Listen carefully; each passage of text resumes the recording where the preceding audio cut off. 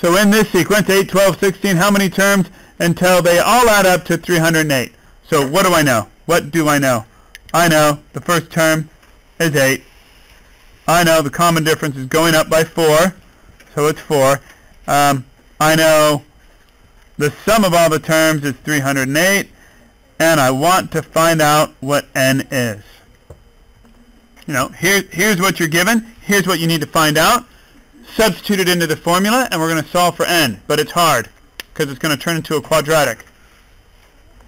So the formula, we're using this guy again. I'm not going to write it down, but we're using that. We're using that. And S, S sub n is, is 308. Is that right? Yep. So 308 equals, I don't know what n is yet. Don't know. Uh, times uh, 2 times the first term, 8, plus, I don't know what n is yet, n minus 1, times the common difference. What was the common difference? 4.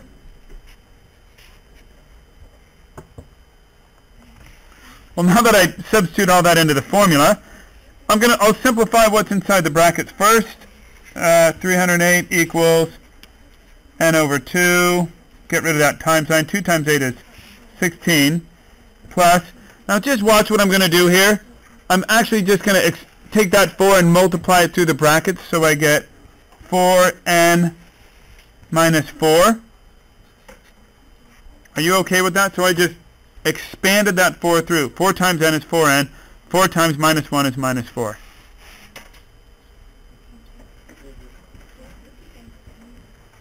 Keep simplifying inside the brackets. 16 minus 4 is 12.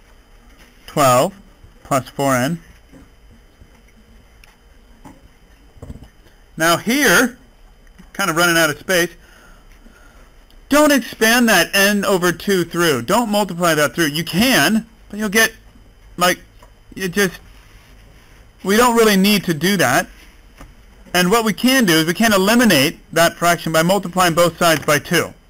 I'll say, well, I'll, I'll take this whole thing and multiply it by 2, and take that and multiply that too.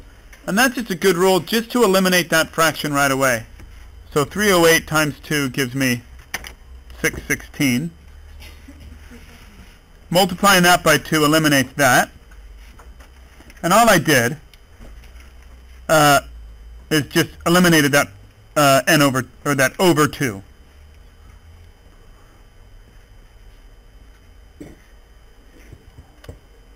So that's just a bit cleaner. Now I expand.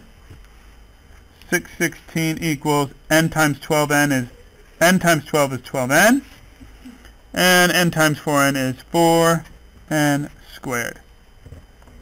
Are we ready? Because now I am uh, right on the verge of solving for a quadratic, and solving for a quadratic, of course, we need to set it to 0.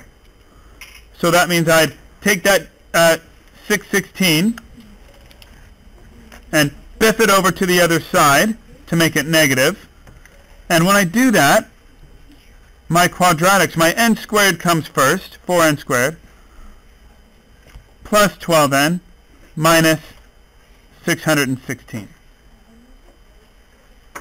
So if we know anything about quadratics, I've got several ways of solving them. I can factorize them.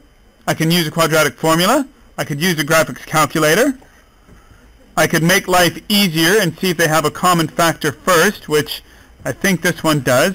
It's got 4 as a common factor, and I can divide 4 out of everything and get n squared plus uh, 3n minus 154. And I can just divide both sides by 4 and just get, okay, now I'm getting somewhere, because at this point, we are simply solving for a quadratic. We could do it on the calculator. If it factorizes, then we can factorize it. And this guy, if, let's check this quadratic out here. Factorizing works like this, in case you forget. Are there any two numbers that add up to positive 3 and multiply to get to negative 154. That's the rule of factorizing. Okay? Uh, in this case, there are. Yes, there are. They happen to be uh, negative 11 and positive 14. Negative 11 and positive 14 will give me that. So this guy, oh, okay. Uh, negative 11 plus 14 gives me positive 3, and negative 11 times 14 gives me negative 154.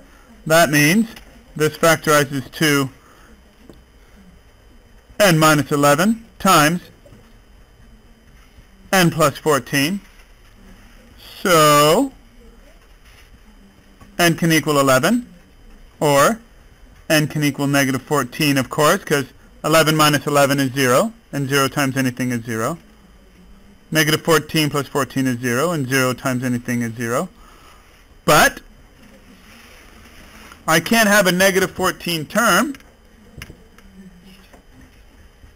so n equals 11 must be my answer. Oh, okay. What do you think?